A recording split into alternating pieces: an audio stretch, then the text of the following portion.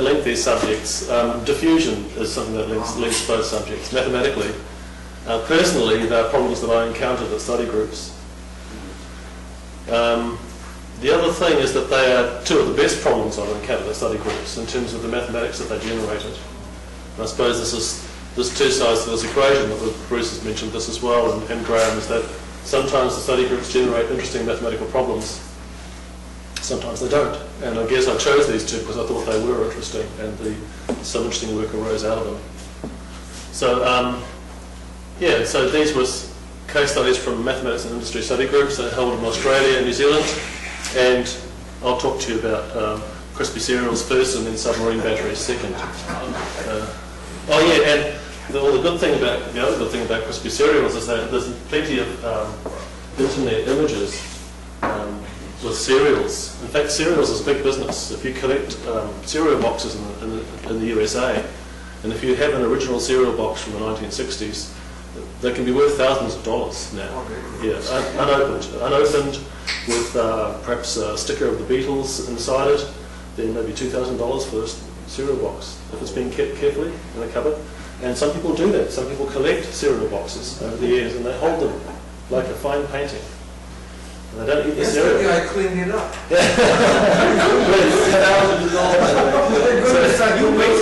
when your mother says, eat your cereal, you say, no, no, no, no, it's a splinters item, I must eat it. So uh, the subtitle is uh, non-linear diffusion in, in whole cereal grains. So um, this is that's a modified version of a talk I gave at the study group. Uh, you work, you know, many of you know the, know the procedure at the study group. Uh, on Monday, you, you get told about a problem, and then Tuesday, Wednesday, Thursday, you work on the problem together in a workshop environment, so working in a small room, talking and writing.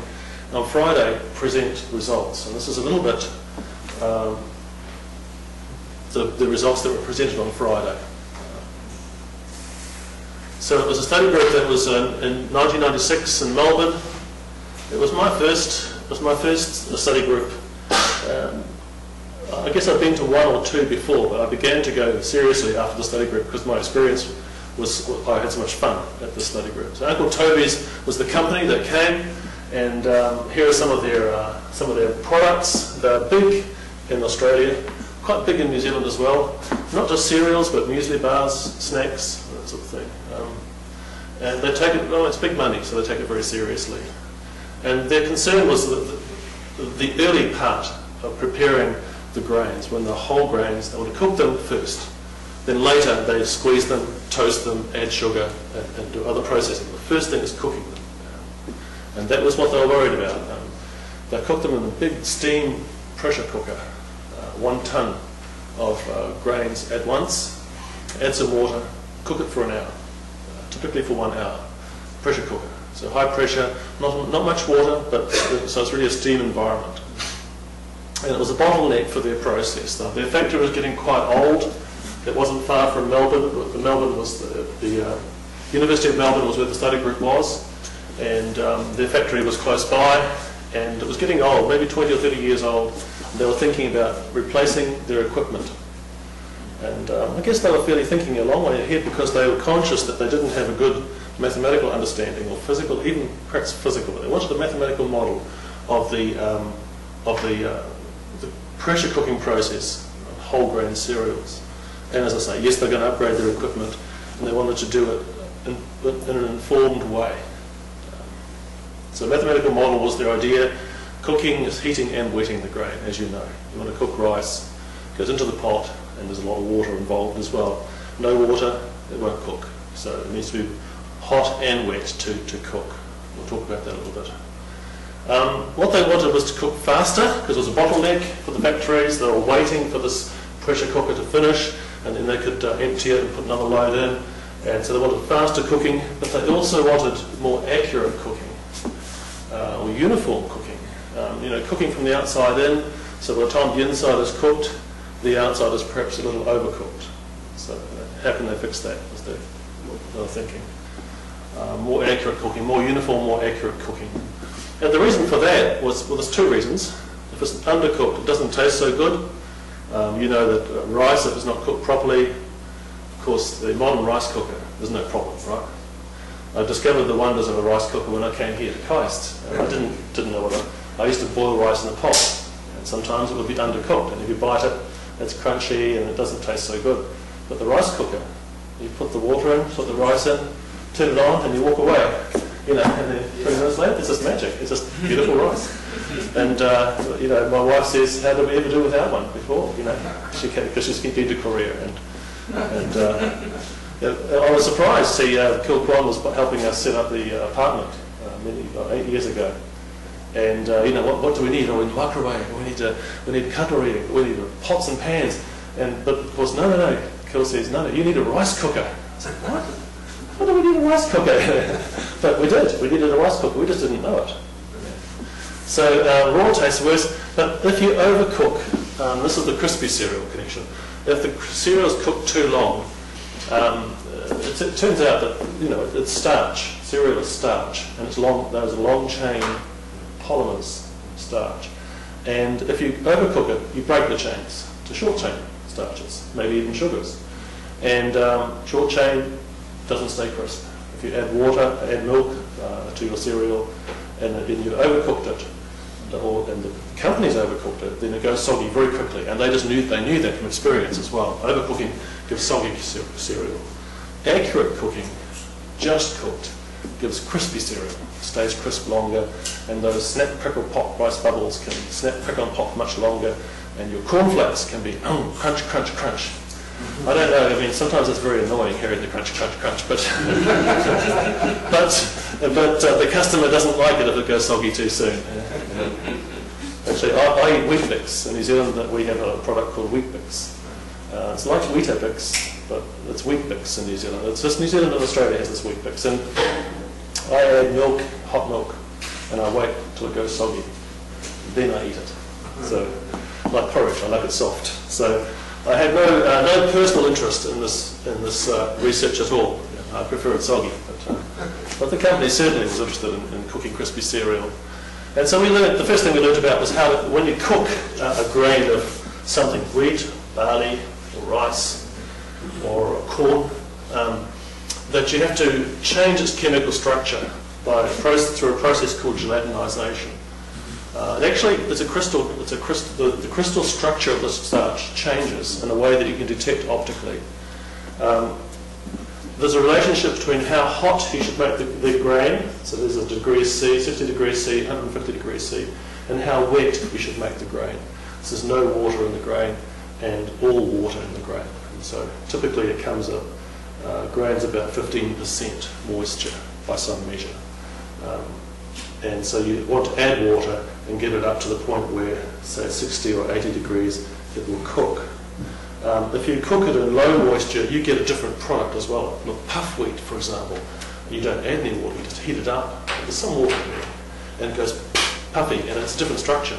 But the same um, change in, um, in crystal structure, even though the physical structure is different. So, um, so there's a relationship between how hot and how wet it should be to be cooked. And this, this line is actually, uh, you know, it's quite wide because it's not just one starch, but there are many starches, and so there's, you know, there's some spread. There's a grey area of cooking. This line is quite thick, about 10 degrees C thick. Um, and it's different for different grains a little bit as well. So, um, so we learned about that. Heat and moisture are required. That there's a swelling going on as well. So when you cook this grain, as you know, the rice grain, doubles in size. And the, the, granules inside, the starch granules that are packed inside, they actually burst in an irreversible transition uh, at the cooking point. If you don't go that high, it's reversible. When you go through this transition, this gelatinization, it's irreversible change. Bursting is irreversible above the cooking temperature.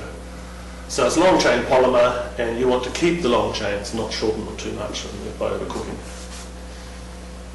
So the first thing we did, even on Monday, perhaps on Tuesday morning, was to consider some very simple property, some of the simple aspects of the question. Um, we know that you know we're heating the grain and we're wetting it, or they're heating the grain and they're wetting it at the same time. Um, they had a mental model, and I'll, I'll, just draw this for you. Um, the mental model they had of the process was that here's a um, here's a grain cereal and you have steam, on the outside, and the steam goes in. They drew a picture like this for us, and, and then the steam is penetrated. After some time, the steam has gone this far. So the steam goes in, and it drops its heat, its latent heat, by condensing in the grain. So they're thinking of latent heat as steam. So in their mental picture of the mental model of what was going on, they had a, a front here where the water was the water had reached and the heat had reached same place. So steam and heat together. That was their mental model of what was going on. Which, you know, and, um, at first I thought, you know, they showed us this and said, yeah, yeah, oh yeah, the steam goes, oh right, yeah. And yes, you, steam something, it hurts, ow, it drops its heat, you know, on your, on your hand, it hurts. So yeah, it's a, it's a, seemed like a good model. Until we go back to basics and you think, well, thermal conductivity, you know, what's the temperature of the surface of this? Forget the steam, what's the temperature? It's 100, 120 degrees.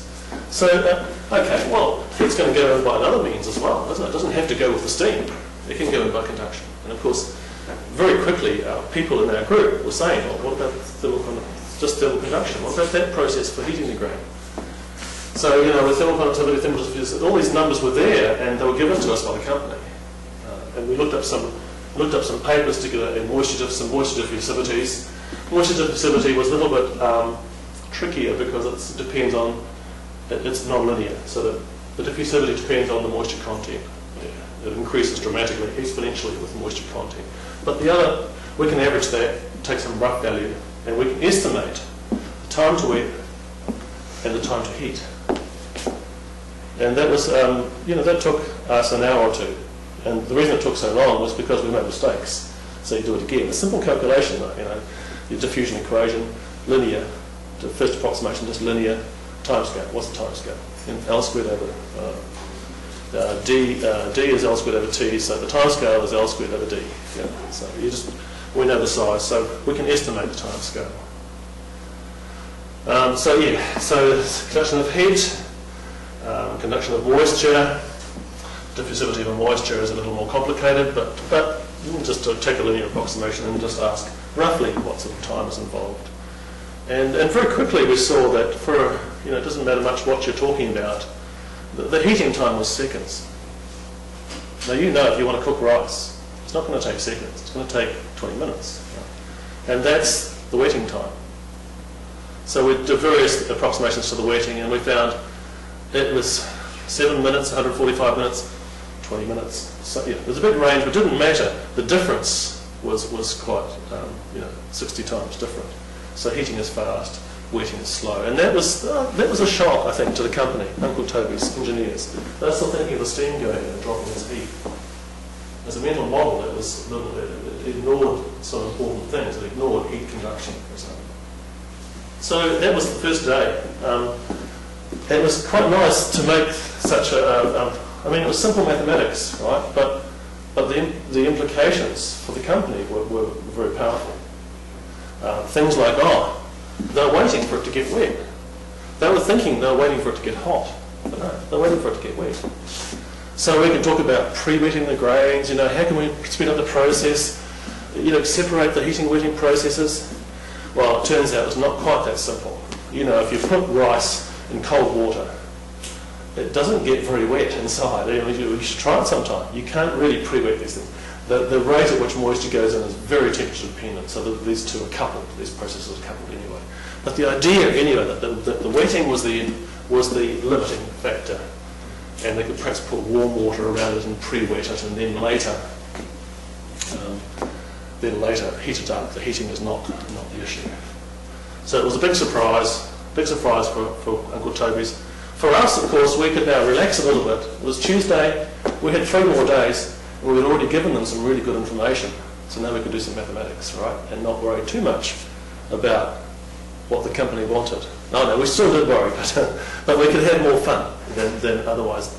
There's a lot of responsibility in these industrial problems to produce, you know, we're working on a problem that the answers should not be, oh, here's a nice model. It doesn't quite solve your problem, but it's a nice model mathematically. They don't want to know that. You know, they want to know what's the answer to our problem.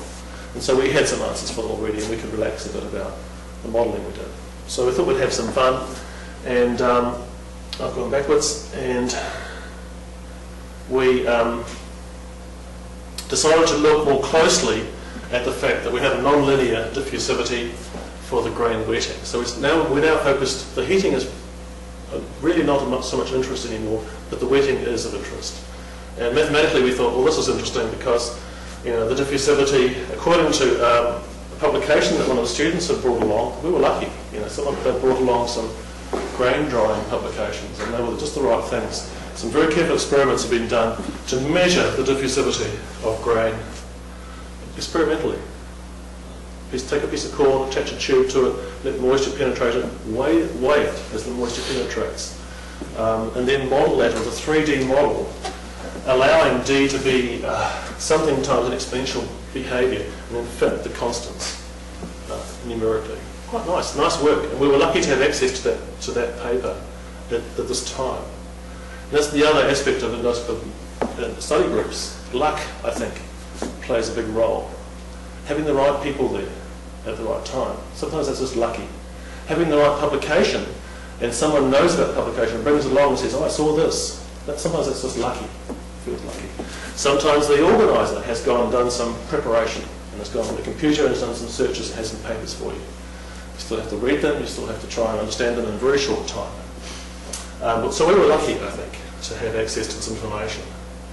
So M is the moisture content. It's, you can think of it, um, there's two, two measurements for moisture, the dry basis and the wet basis. Dry basis is the amount of water divided by the amount of dry grain. Uh, wet basis is the amount of water divided, or the mass of water, if you like, divided by the mass of water plus grain. There's those two measures, and they relate to each other, and you can go from one to the other. I think this is wet basis, and M appears in D with e to the 8.6 m. So, so and the idea is that as you wet the grain, it becomes, the diffusivity goes up. So it gets very easy to go to put water through the wet bit, but it's very hard for water to get into the dry bit. So you get this very steep front penetration penetrating the grain. We're thinking about steep fronts and a shock, it's kind of shock, almost shock theory, you know, shock waves. Um, it's called a mesa problem in diffusivity, a non-linear diffusivity, and um, the idea that you might get a, a, a sharp front across which all your moisture was travelling or that the changes in moisture were happening. That was the idea. Um, so um, we also were interested in the fact that the grain swells, and we knew that that factor, in a factor of two swelling, that the swelling was important. So we've got a nonlinear diffusion equation with a um, moving boundary. Okay, and the boundary moves according to how much water goes in. Is the model. So the starch is there, and the water comes in, and the swelling is due to the water going in.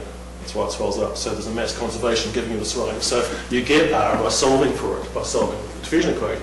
But you have to solve the diffusion equation knowing what R is. So they're coupled and it's a moving boundary problem. Oops. Not linear because of that exponential dependence of, uh, on moisture. So the uh, yes, it was a very serious business too. You can see. Um, so um, you know, people like Colin Please uh, from the University of Southampton would, would straight away began to write down conservation of mass equations for the solid and the liquid. And they're standard equations, you know, they become familiar after a while. It's just conservation of mass, and then put them together and manipulate them a bit and combine. And what you need to know is the velocity. And that's where this paper by Syarief was useful because you could um, infer velocity from the diffusivity measurements he'd done. Diffusivity means how fast something goes in, means velocity uh, Darcy velocity, if you like, um, through a porous medium. So the model was, actually, it's interesting to think about what does water go into grain? You know, people were thinking, oh, it's a porous medium. And so, you know, capillary pressure and stuff like that. But no, no, you know, you think about pressure driving it in. No, the water's all the way around. And there's air, if you're going to talk about it being a porous medium, then you've got air inside there, right? Well, you know, the water's not going to go in because the air's in the way. So what's the mechanism, what's the physics of what's going on? And it turns out that the, the well, perhaps the correct way to think of it is there's an action potential. It's a chemical uh, potential. And you know, when the water moves in, it's lowering the chemical potential. It's lowering, so it's driven by an action potential, not by a pressure gradient, actually. So uh, concentration gradient uh, of a chemical um, force, if you like, an action potential, not a pressure gradient. And it's interesting that we, we, we did that because, um, you know, I've seen, since then I've seen models of pasta cooking, for example, where this sort of nonlinear diffusion equation is used, but they talk about pressure gradient driving the water into the pasta. I'm thinking, no, how can that be? You know, if the pasta's got air in it, you've got to get the air out before the water can go in. Where's the pressure gradient coming from? Know, capillary pressure? That's okay if you if you can if, the air is not in the way, you know. So the conceptual um, there were conceptual things to deal with in this. And luckily, again, luckily, we had people who knew enough chemistry to do the conceptual modelling properly.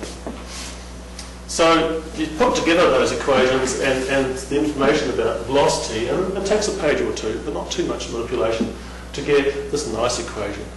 So the dEt of the rational function of moisture content is two derivatives in here, one there, one there. Non-linear diffusivity, it looks a bit, a bit nasty now because it's been more carefully done. Even beta rand was coming in there. That was, that was Syarief's model, but we found that if you're going to do the mass conservation properly, you wind up with this quadratic being on the bottom line too, but still a diffuse, non, linear diffusion equation with um, a boundary that moves. So we've got two fronts. We've got a front of the outside boundary and we've got a wetting front going in as well. Two fronts of interest really. So let's see, and oh, okay, so things have been non-dimensionalized and parameters have been identified there, but you don't need to worry about those things. Um, then we had this, this complicated model, and we looked at how can we, how can we solve it. Um, so one thing to do was to take, well, let's go back to this very simplest case, that it's not swelling. We know it is swelling, but let's try mathematically do the non-swelling case. And that corresponded mathematically to sending the density of water to infinity, so it doesn't take up any space. It goes in without taking up any space forcing the expansion. So that was a, a nice problem to do because then the previous complicated equation simplifies to this one. Lost this quadratic, we've, we've this term here as well. It's still non-linear diffusion, but it's a little tidier and it's got fixed boundaries. It's not a fixed domain. So mathematically that's nice. It's still, at least, it's nicer. Why I liked it was um, that it's now ready to have this very nice technique used on it, uh, mean action time idea. And this was a technique that I knew about through the work of uh, Alex McNabb and Graeme Wake uh, from New Zealand, both New Zealanders, who'd been doing some work on cooking chicken, was it? Yeah, Heating, freezing thawing, thawing of foods. Thawing and freezing foods, food strange shaped foods, so lamb and chicken and and, and the idea is that we want, we're not really wanting to solve for moisture, we want to know how long it takes to wet it. What's the time it's taken? What's the mean action time, as it turns out? And you can define a mean action time in this way. Uh, think of this, if you had a constant diffusivity, this is the diffusivity here. You integrate that, you've got d times m, right? Take the derivative of that, you've got dm dt, with a diffusivity on the front. What does this do? It picks up places where m changes suddenly. Okay, so the moisture's coming in, and we take we, we have this which picks up the time at which, at this point in the grain, the moisture goes up. And then you normalise upon this. So that's what the, this time is, in fact. You say, okay, where am I in the grain? Oh, I'm halfway in. Right, here comes the water. When's it going to get to me? Oh, here's the front coming through, and I approximate that front perhaps by, you know, here's the front coming through, but I approximate as a shock of equal areas, and that's a nice interpretation of this mean action time. So the mean action time is a very natural thing to do. It steps back from, I don't know the solution everywhere, but I now ask the question at this point in the grain, what's the time taken to wet it? What's the time taken for the water to get there? And built in behind this is the idea too that you have a very low diffusivity here and a very high diffusivity here. The change is quite rapid and, and it's like a shock front coming. And it, seems to be a reasonable sort of approximation.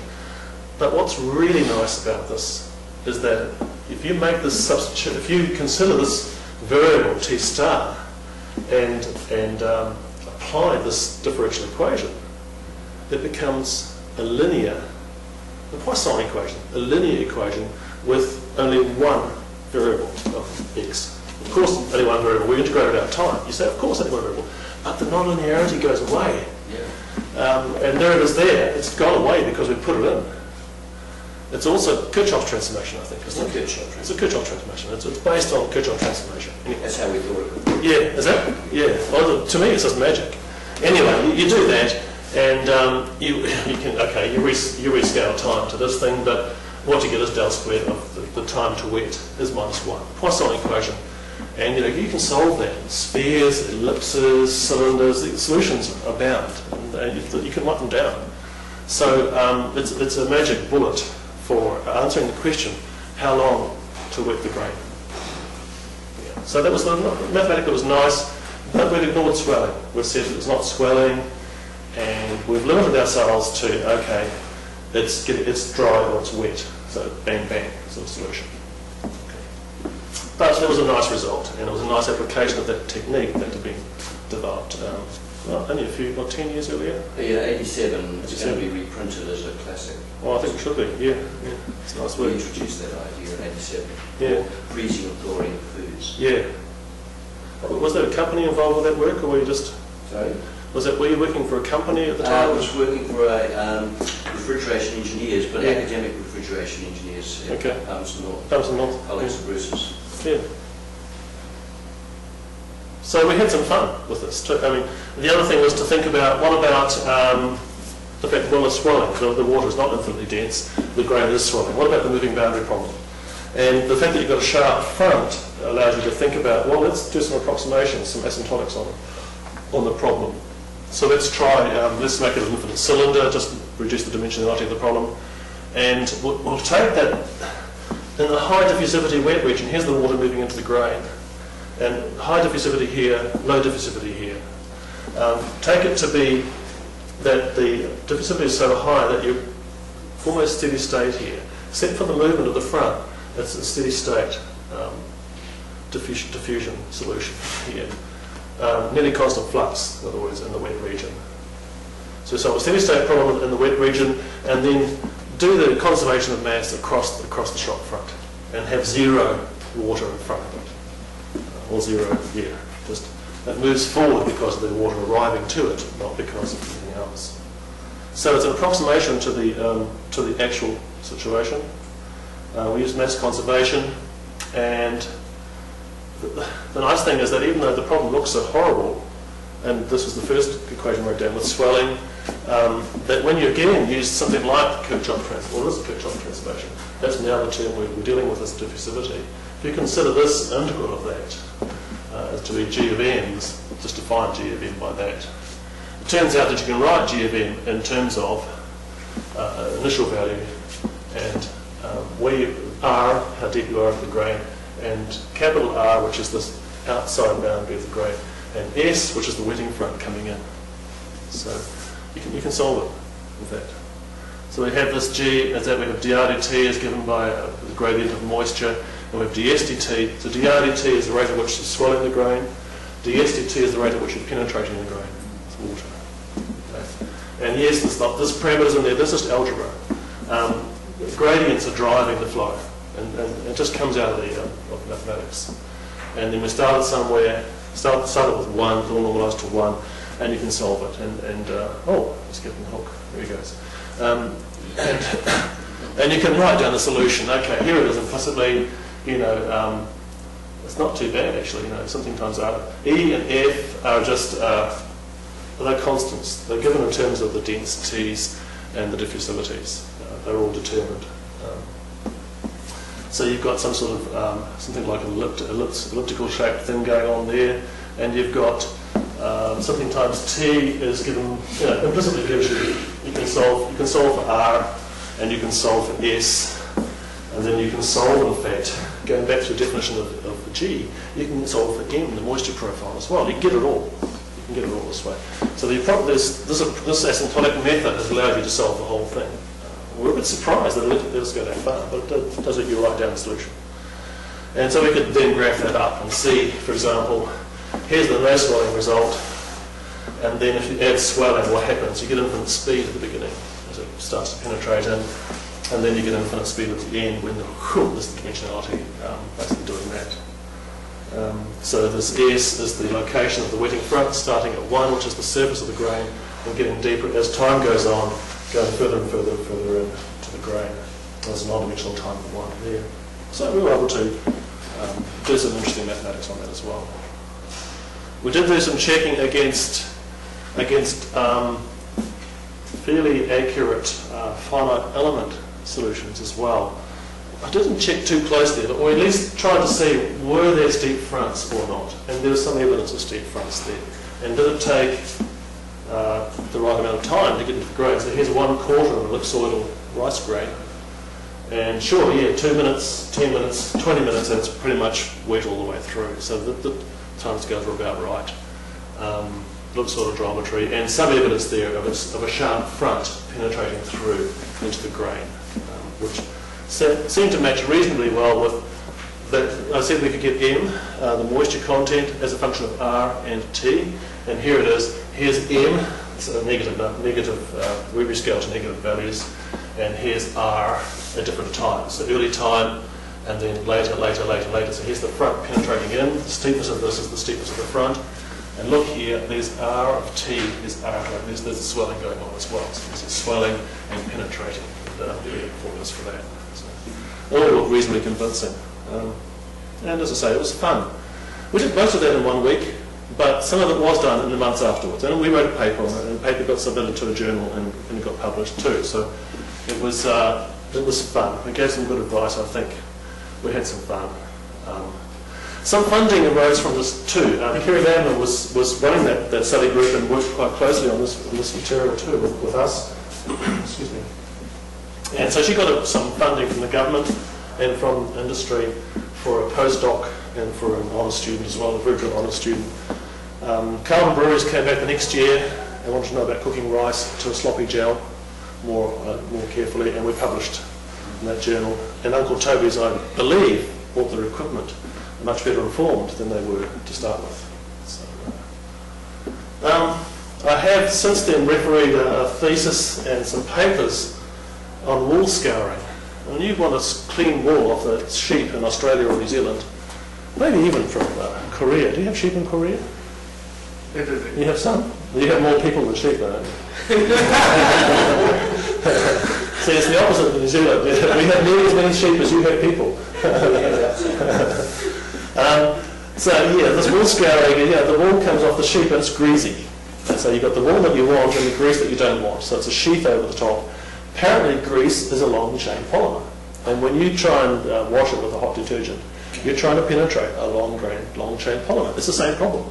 So these guys picked up on, referenced, nicely, nice to see, they referenced our work and then they extended it to the cylindrical domain and had some, and got some nice, uh, some nice analytical solutions actually uh, from their work.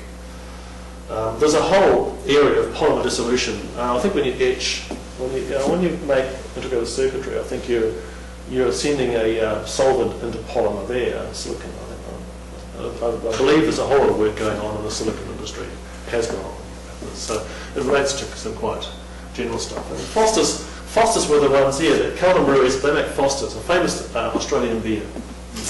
Uh, actually, I went to this. I went to this next year and helped them with the cooking rice.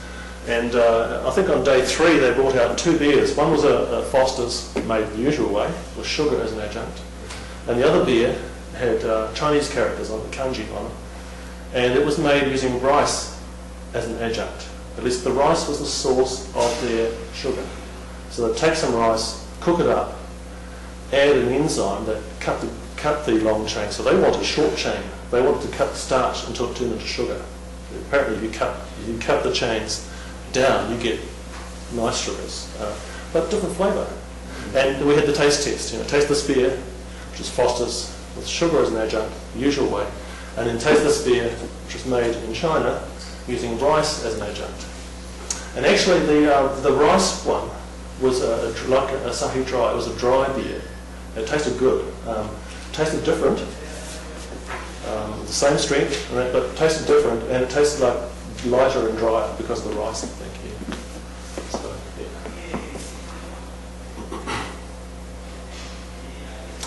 Now, um, this, came along um, somewhat later, in 2003, and this was in um, Adelaide, wasn't it? Adelaide.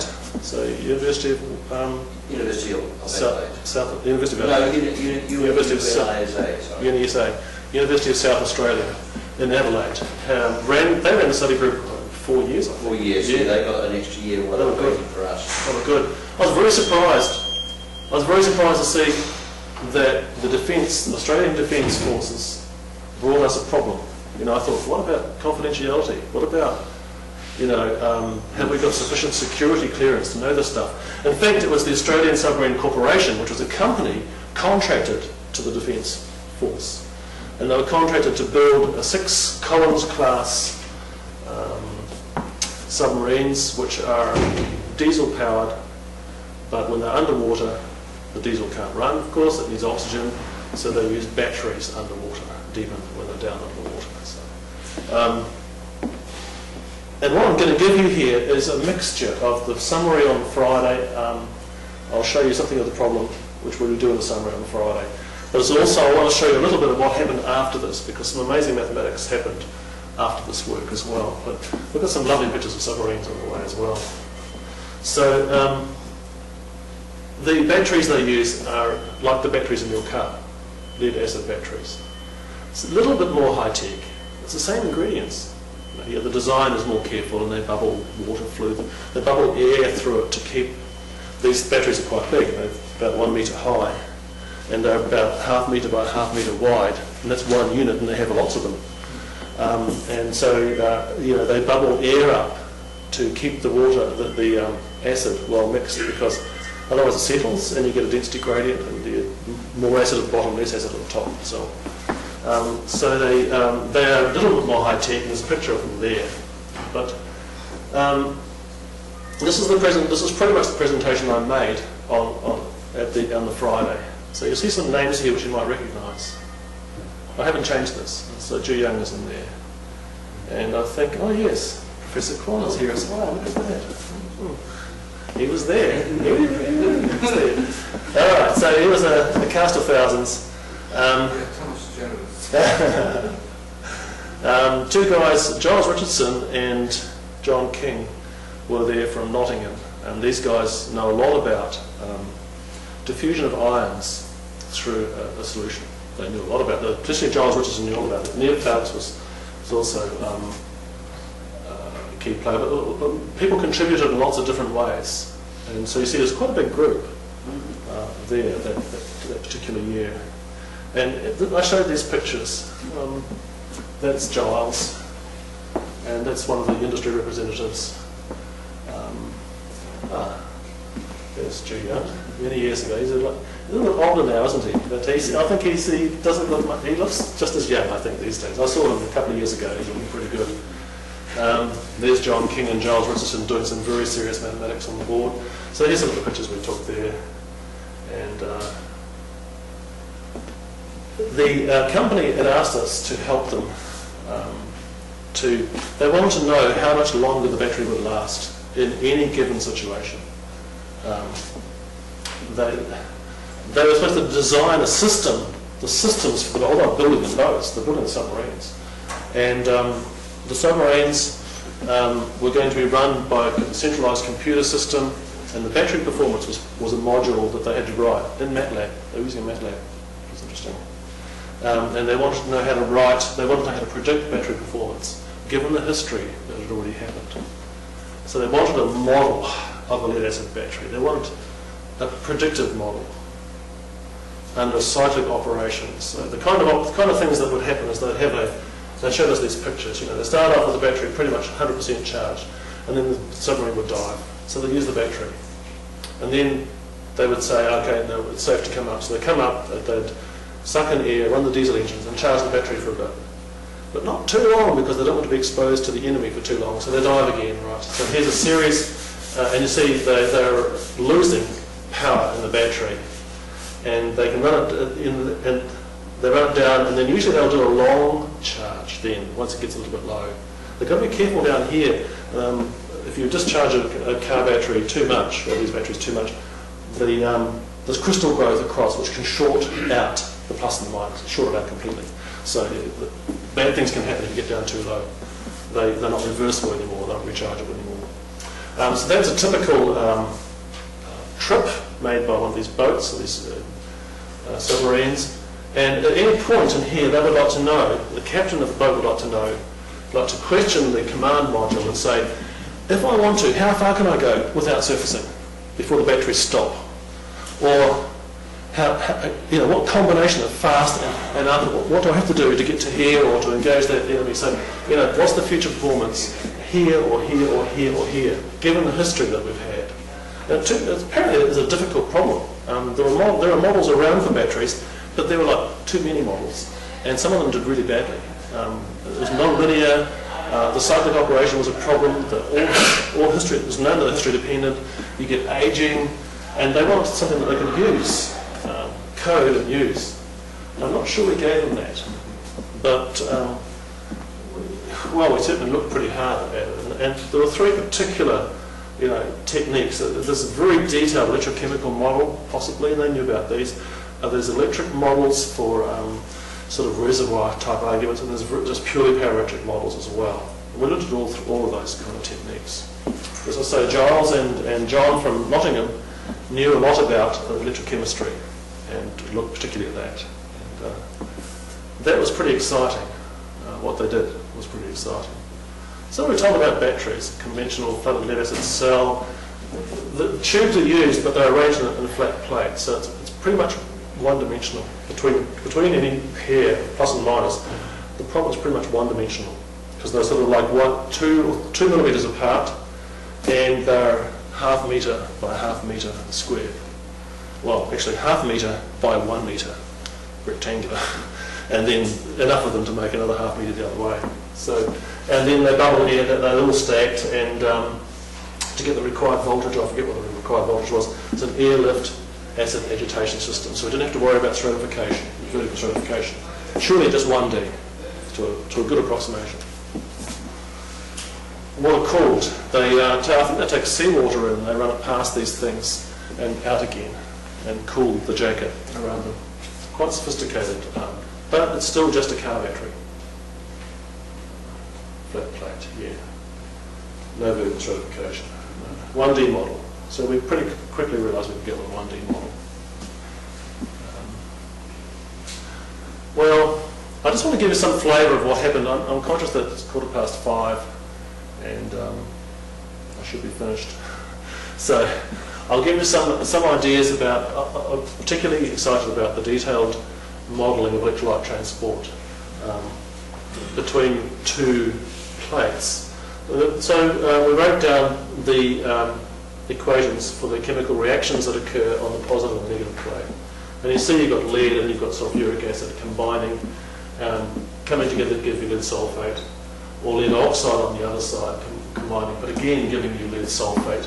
Uh, crucially, um, giving you some electrons or taking electrons, so you get a, a charge, a charge built up, which then flows through some circuit and keeps the um, submarine going And write down the equations uh, for conservation of ions. H is the H plus ion, and S is the sulfate ion. And we haven't written it down properly in this, in this reaction. I think it was actually H2SO4, but S is actually a sulfate ion. And um, you can see there's a diffusion equation, dHdt or dSdt is proportional to a second derivative. Um, so there's a diffusivity and the temperature dependent. And that's, uh, I think it's um, Stokes-Einstein, is it? Uh, and then modified by the fact that you've got a, a potential here. So you, uh, you have a velocity here which arises, that's the Stokes-Einstein. You get a balance between the drive from the fact that you've got a positive ion in the electric field and you've got a drag from viscous, viscous drag. So these velocities come from a balance, a viscous drag force balance. One for the positive ions, one for negative ions. And then usually chemists will take charge neutrality in the middle. That, that, that, that you know, if you have a, a, difference between the number of ions, the density of ions, it is electrically unstable. It goes back to being the same amount of, a, of H plus and S minus and SO form minus. Here, S is the sulfate ion. Um, convection diffusion equation. So there's the link. well, the, diffusion is the link, but this is there's convection there as well, isn't there? from the electric field. So um, there are a lot more equations as well because there's conservation of charge on the um, plates um, and there's the external circuitry. You know, you've got to run that charge through a, through a resistance of some sort, capacitance resistance. So all of those things had to be considered because they're all coupled together. Um, this is where I'm, gonna, I'm jumping out ahead to show you later, after more careful thought, these guys, John and, and uh, Giles from Nottingham, wrote down this set of equations, um, which are pretty much what I described. They've been non-dimensionalized, but you can see diffusion and um, driven by a potential gradient. Okay? And same thing for that's the, so the, negative ions, positive ions, and uh, diffusion and convection. Very similar forms there. And then there's Maxwell's equations written down in terms of a uh, the field gradient um, and a charge density.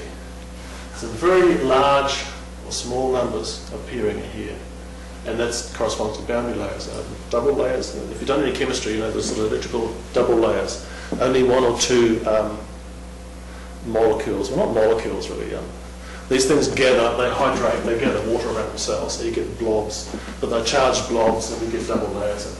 And it's all, this is really from very first principles. So there's no, what I realised later, when I went and looked at electrochemistry, at what the chemical engineers do, they never start this, this fundamental. They go back and they say, charge neutrality, yeah, yeah, convection diffusion, yeah, yeah, but, um, but charge neutrality, so this is just, that's equal to zero. Um, and then, then watch out at the electrodes because the electrodes you've got you don't have charge neutrality. You don't have S equals H the electrodes. You have um, um, you have huge variations at rapid gradients in field uh, field strength and huge gradients in concentration of the ions. We wrote those down. Well, these guys wrote them down from first principles, conservation of ions and, and flux to and from, and, and just worked it through from first principles. Um, we later realised there's, there's also there's a thing called um, well I'll tell you I'll, I'll, get the name for it in a minute because yeah Butler-Volmer ones I'm trying to think of. So there's a thing called Butler-Volmer equation which chemists use. They don't use these detailed ones. They, they approximate the current at an, electrode. They relate it to the charge, so the change of potential at the electrode. Of course, of course it's across a boundary layer at the electrode, and that's empirically done. Right, there lots of support for it, lots of empirical uh, chemical um, experiments, lots of support for it, but it's empirical. Here, it's not being used at all. This is you know, physical, I suppose, or mathematical. And the approach of John and Giles was to say, what's a boundary layer at the electrodes? And we'll solve, we can solve sometimes in that boundary layer, and we can recover pretty much the empirical equations that the chemists use. The other thing that impressed me later was we're talking about lead acid battery here, but this theory is, is for all electrochemistry. It's not just lead acid batteries, it's any battery or any electroplating situation where you apply, where you, you cause a current by applying a charge, for example, and it makes things electroplate. Very general, this Butler-Volmer stuff is used widely and hugely. So these results that they got uh, have huge implications, I think, for chemistry, for chemical modelling. Anyway, um, then, what happened there, I don't know. Gosh, that's interesting. That's all right. That's what happened. So you look at Butler-Volmer equations and you see um, it's one of the most fundamental relationships in electrochemistry. And as I say, the work that these guys have done, and they've since published just recently, this uh, 40-page manuscript, they have obtained from first principles the Butler-Volmer equations not by assuming the form and fitting the parameters, but by deriving from conservation of mass and charge. Uh, it's pretty impressive, I think. Um, there they are, I mean, about the Volmer equations, they relate current and charge. There's exponential dependence. Turns out, when you look at those equations, the, the way to solve them uh, asymptotically, it's natural to think of e to the phi, you know, exponential dependence is a natural way to solve those things. And John and Giles knew that. What's happening there? Right, here we go. So um, there's the paper. It came out in 2007. It's four years later. Um, it's in Journal of Engineering Maths. It's very, it's quite long, um, 40, nearly 40 pages. It's called time-dependent modelling and asymptotic analysis of electrochemical cells, quite general, Richardson and King. And it came from that work on, on submarine batteries. Very nice bit of work, nice paper. Yeah, uh, oh yes, I pulled this out of their paper. This is where they, I sort of thought, you know, you read this paper and it's daunting, it's 40 pages. You think, what have they done? I knew what they'd done, but where do they say it? You know, and um, here they sort of say in their conclusions that another, they, they basically solved those, those couple, those, that very nasty system that you saw. It was, what, it was about 14 or 15 equations to solve. Some were ordinary differential equations, some were partial differential equations, they're non-linear. So did an outer, if you've done any um, asymptotics, there's an outer solution and there's an inner solution, right? There's an outer solution in which you have charge neutrality, H equals S. So in inner solution where things, where this is no longer the case, where you get rapid variation in electric field um, and ion concentration. And they solved that approximately in some limit of dilute, of dilute uh, concentrate, dilute, uh, dilute um, acid. And so this, this main bulk of this paper is all this quite heavy asymptotics. It takes a, it takes a page to write down the equations, you know. So it's, it's big, it's a ton of big stuff. They, they work through it. And they say, why do, why do these calculations? What's the reason for performing these calculations? And they say it's illustrated under the method of matched asymptotic expansion. So that's the technique that's being used. You know, you get this solution, you get that solution, and you match them. You know, there's the boundary layer, rapid change. You look at that on an expanded scale. Here's the other solution, you look at that on the normal scale, and you match them. And then you can get the whole solution approximately okay, to leading order and some of the, some of the small parameters that are there. Um, how those match expansions can be applied to nanoscale, nanoscale models. Ah, it's nanotechnology. And when you see the length scales involved there, think, yeah, that's the nanoscale. 10 to the minus 9 metres, right down there. Such as the Nernst-Planck equations and our concentrated solution model to systematically derive macroscale models. So they're going from the nanoscale to the macroscale using a technique that's been around for a little while. But it was difficult to use, I think, in this application. And it has implications for uh, to derive macroscale models and non-intuitive boundary conditions. That's the Butler-Volmer equation. The boundary condition at the, you know, chemical engineers just use it as standard. They're going to do numerical solutions. They will not even try to solve those original equations. They don't write them down. They use the Butler-Volmer equations. Um, this method thus provides a way of testing nanoscale models against relatively easily obtained macroscopic measurements. Well, they've been quite modest, I think. Think has very wide-ranging implications. Anyway, um, other work was done. We did, we did just some of the you know, things you might say, what about the chemical reactions on the anode and cathode? You can write down, you know, ODEs for those reactions. Chemical reactions, you can write down ODEs. Turns out not to be relevant here because we're assuming that we're waiting for the reactions to happen, but they happen fast. What we're really waiting for with car battery is for diffusion to happen. So the previous set of equations were correct or were more relevant. And these equations, which would, were written down and solved, um, assumes reactions of electrodes are the rate limiting factor. It was a wrong assumption. We later found out. So that's one of the uh, things with uh, study groups. Sometimes you, may, you know, we, we go in, sometimes we're not so lucky, we're not experts in, in the field that, for me, that had two effects. I mean, one, one effect was we made some mistakes. We tried something that, that failed. But the second, the other effect was Giles and John tried something from first principles and actually did something with it. Where perhaps if they'd been um, experts in the area, they wouldn't have gone there. Anyway, so we've done equations and we've got solutions, and they're irrelevant because we found that that it wasn't really correct assumption. There's also some simple models, some nice two you know, parametric models, storage, to try and these they're developed to try and um,